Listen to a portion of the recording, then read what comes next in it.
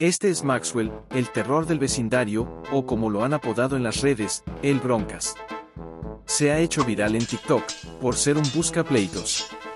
Tiene puesta una cámara en el cuello que documenta todas sus locuras, mientras recorre libremente por la vecindad, sembrando el terror en los demás gatos, y cuando ve a uno, es una pelea casi segura.